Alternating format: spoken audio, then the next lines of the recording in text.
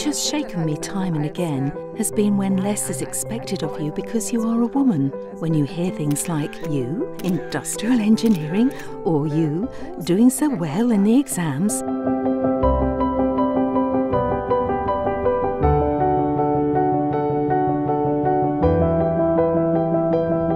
One of the great opportunities for the future is to link our young female students, and now we have well over 30% starting, which is really important.